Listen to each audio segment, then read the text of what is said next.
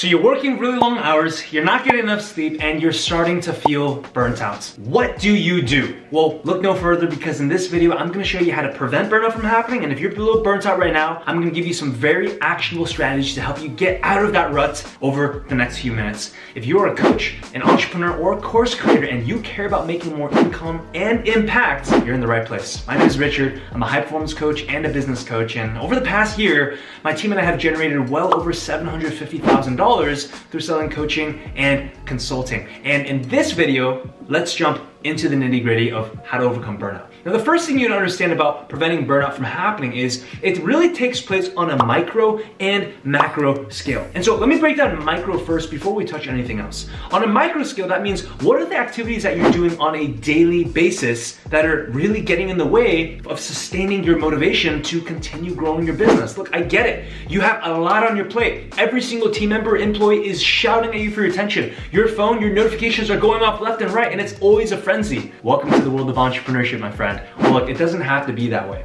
Because it turns out that if you set the right systems and the right infrastructure in your daily disciplines, that's how you prevent burnout from getting the best of you. And so the first thing that we wanna take a look at is gonna be our sleep. Because it turns out that if you're not sleeping consistently over and over and over, one of the first things that we begin to compromise on is we think we can get away with not sleeping enough by using supplements, enhancements like caffeine, right? You start drinking more tea, you start drinking more coffee. All of a sudden before, when you're getting eight hours of sleep and you felt really, really good, now you're only sleeping six hours a night and you're supplementing that by drinking more caffeine. And the problem with this is the caffeine is really only providing a temporary solution, but your body is already decomposing, it's already breaking down, and that sleep fatigue is only accumulating more and more and more. And at a certain point, you will break. And so if you're feeling really overwhelmed right now, the first thing I want you to take a look at is take a look into the past 30 days. How has your sleep been? On a micro scale, how we make sure that you do not allow burnout to happen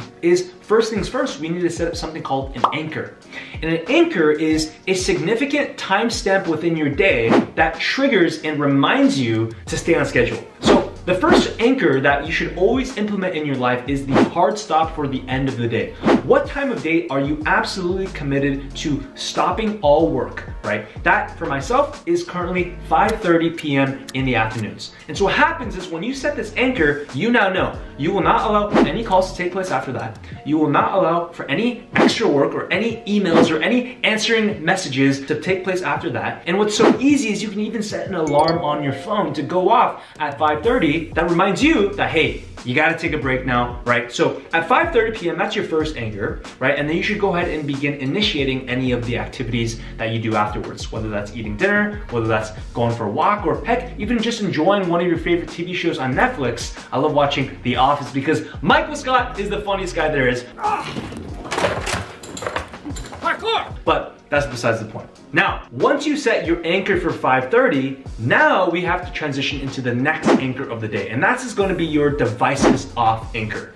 And the reason why we have to have an alarm, an anchor that sets in place for when we turn off our devices, is it turns out devices are extremely destructive to our sleep routine. And so what happens is when you set an alarm for when you need to turn your devices off, I would recommend for the last one hour before your bedtime. We do this for two reasons. The first is because the blue light from your devices, whether that's your phone, your laptop, your television, that's going to trick your mind into thinking it's still daytime. And so when you do that, you're not gonna wanna fall asleep because your brain still thinks that it's time to work. Now, the second reason why, and this is more the realistic reason, is because if you're on your phone, by the end of the day when you're super tired, you tend to just spend hours and hours and hours and it just begins to drag on. It's terrible, right? You think about it from my perspective. I know for a fact that by the time it's 7, 8 p.m., I've already been up since 5 a.m., I'm exhausted. And if I'm scrolling on my phone and I'm scrolling, I'm scrolling, a couple really bad things are gonna happen. Either I just start watching more and more content, I start wasting time, and I don't have the willpower to stop myself anymore, and the dopamine hits that I'm getting from social media are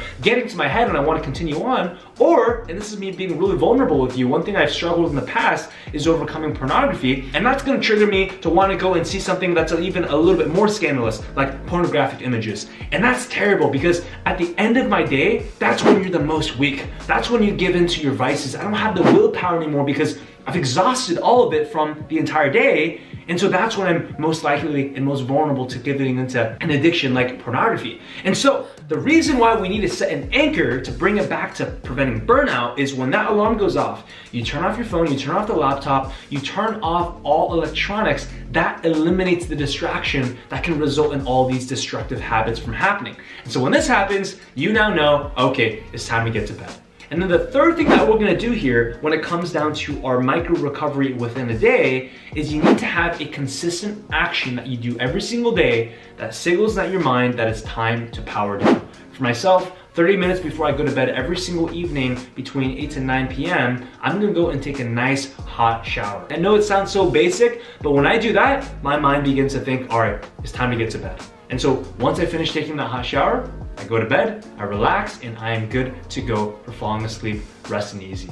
And so if you have these simple things within your micro, within your day, that's what's gonna prevent you from ever slipping into not getting enough sleep. So remember, first anchor is going to be end of workday. Second anchor is gonna be electronics off. And then the third is gonna be for you to have a consistent activity that signals it's time to sleep. Now, once we figure out the micro, let's transition into a bigger scale. That's gonna be your macro. Because it turns out that if you're not taking breaks on a longer, on a bigger scale within your life, you're still gonna burn out, regardless of how much sleep that you get on a daily basis. And so the way that I personally combat this is I like to do macro breaks. And so once every month, I do a three day weekend when typically I only do one to two day weekends. And so by taking a three day weekend, that gives me something to look forward to. And also gives me some more extended time to get off of work. Now, once we do a three day weekend once a month, once a quarter, that means once every three months, I'll go ahead and take a four to five day vacation. And the reason why this is so powerful is because when I can do this, that truly allows for me to relax, get my mind off of work. And so by the time I get back to work, I am truly energized and invigorated to get into work. And this is not something that I have personally developed. In fact, I've learned this from some of the greatest entrepreneurs out there, like Bill Gates, because it turns out that Bill Gates every single year will do something called a Think Week.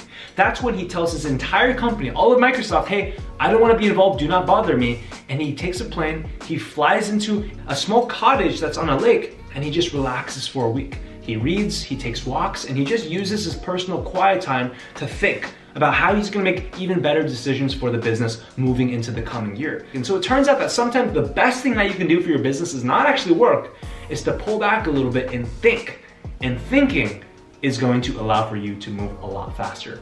Now, what do we do if burnout actually does happen, right? What we've been talking about thus far in the micro and macro is how do you prevent burnout? But once burnout does happen, I wanna give you a very, very quick, this is the three day strategy within 72 hours to completely turn your motivations around. And I don't care how much you hate your work right now, if you're burnt out, this is gonna work. And so this is how we do the three day strategy. I want you to time your recovery for a Friday evening, and this is gonna last from Friday evening all the way until Monday. And what I want you to do is most people when they're burnt out, they resort to alcohol, they resort to pornography, they resort to even food binging to actually help you increase your productivity and energy levels. But what I want you to focus on is using sleep. And so Friday night, rather than going out to the bars, rather than watching late night movies, go to bed as early as possible to ensure you get 10 hours of sleep. And then when it comes to Saturday, you're still gonna feel a little bit tired because you're still burnt out. Do that one more time. And so now you would have had two nights of back-to-back 10 hours sleep. I promise you by Sunday morning, you're gonna feel really, really good. But guess what? We're gonna do it one more time. Sunday night, go to bed super, super early and get an additional 10 hours of sleep. And so by Monday, the start of the week that all entrepreneurs know is the most important day of the week, Money Mondays, right? You would have had three back-to-back -back nights where you've gotten 30 hours of sleep. You're completely recharged and re-energized and you're ready to hit the week.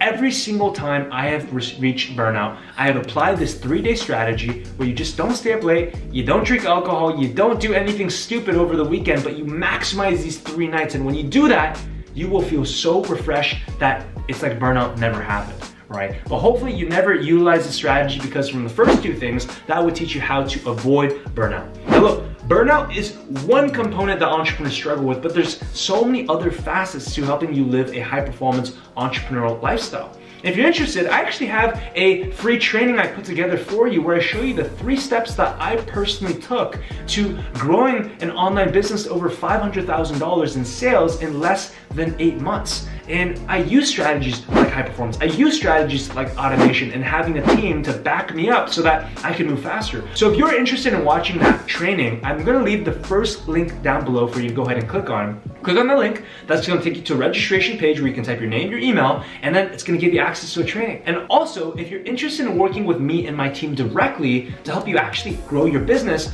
we actually are open for enrollment for a high performance influencer coaching program. This is our flagship program where we take on average our students from zero to $10,000 in sales in less than 30 days. Go ahead and click the second link down below to apply for that program to see if we're actually a great fit to work with each other.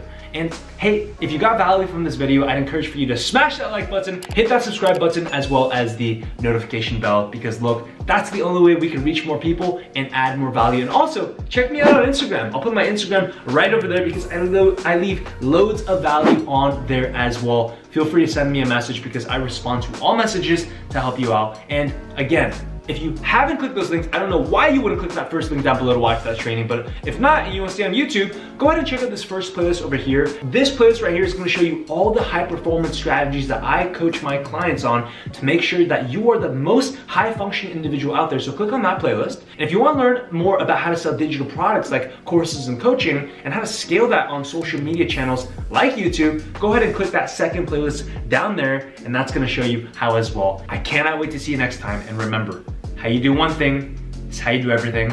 I'll see you next time.